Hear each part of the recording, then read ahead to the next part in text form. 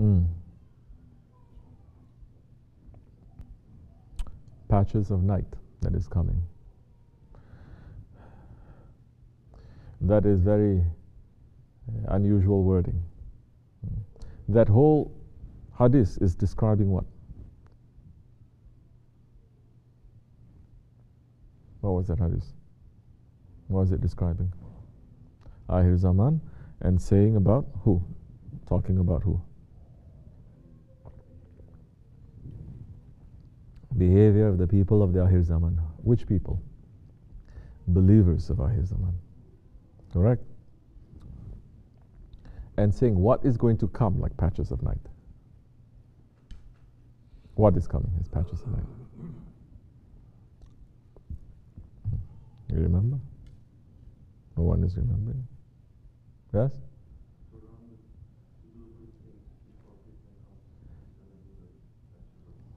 To run to do good things before the confusion happens. Because when confusion happens, people are not running to do good things. They're not running to do good things, and they are not forbidding what is wrong things, evil things, bad things. Is this what is happening? Yes. Before the fitna comes, like patches of night, it is daytime. When you get patches of night during the daytime, what state does it put you in? It puts you in a state of confusion. You don't know whether it is night or day. You don't know whether it is black or it is white. And these are the days, the awliya are saying, where black is white and white is black. And if you are not following a sheikh, if you're not following the awliya Allah, you're going to be fooled. Because these are the days that black is white and white is black. What we're doing now here, this is torture for the people of the dunya, majority of the people.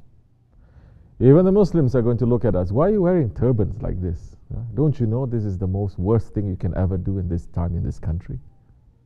This is not Islam. They're going to say that. You are backward.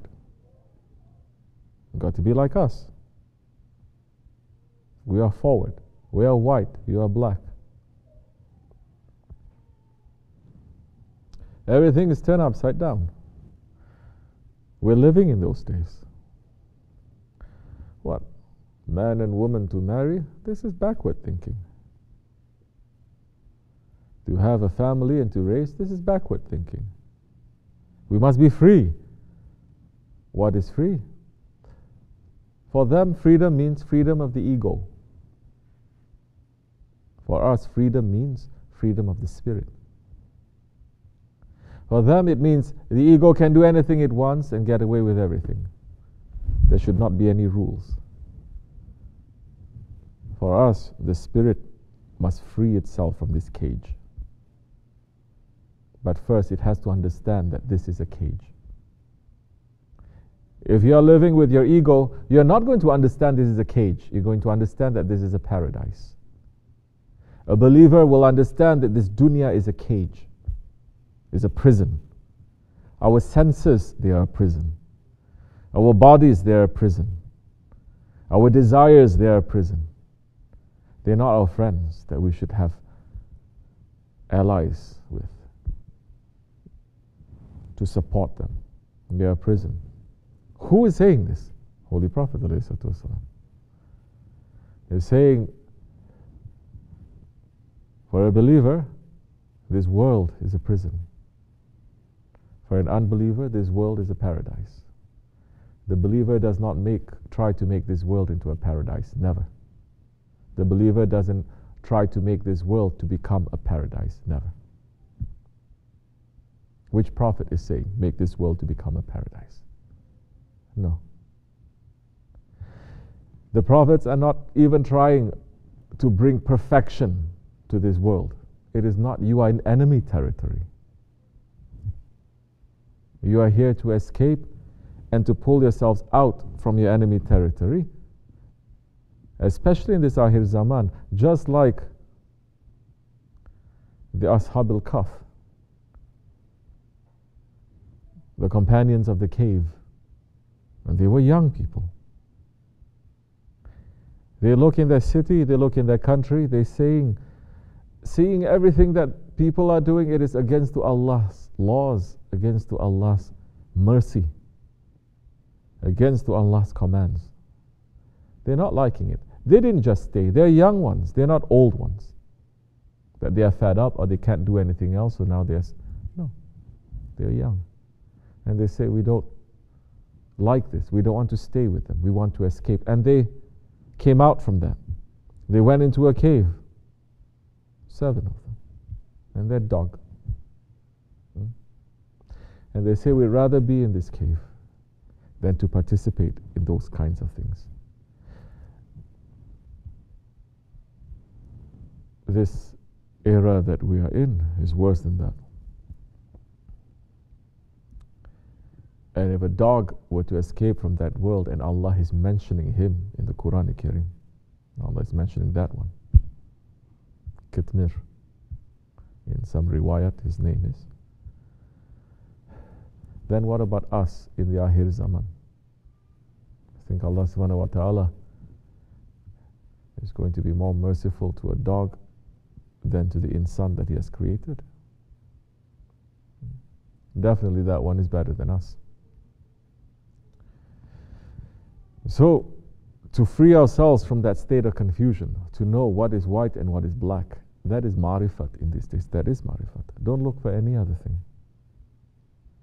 How are we going to know? Sit properly. How are we going to know? That time you're not going to be able to trust your eyes so much too.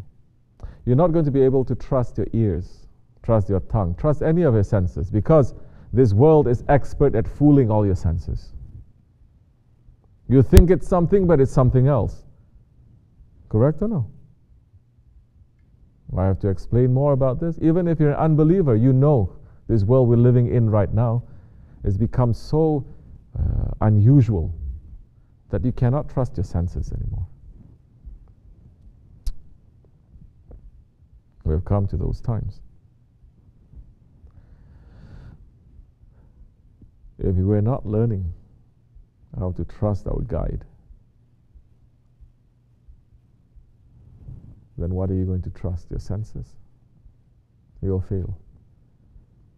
Shaykh Effendi, Shaykh Mawlana Hazrat Ali is saying, yes, the time will soon come when the Shaykh is going to say, look at that wall. The wall is black. Everyone looks, it's white. Or it's white. You know it is white. Everybody knows, but the Shaykh, the guide says it's black.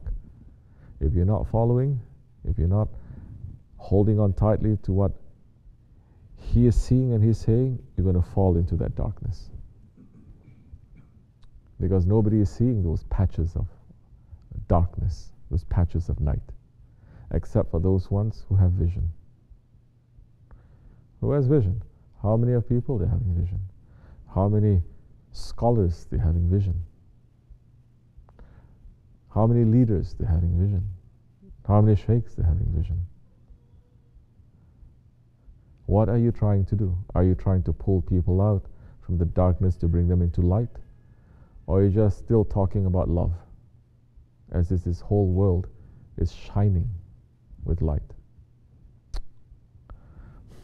May Allah keep us in safety. May we run to those ones, to our Shaykh, inshallah, so that we know what is that darkness outside and what is that darkness that is inside. And we run into their light. Hold on to that tightly, inshallah. We'll find safety. Wa min Allahu tawfiq al Fatiha.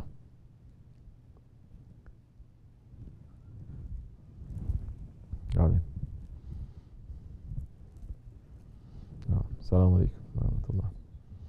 Any other questions?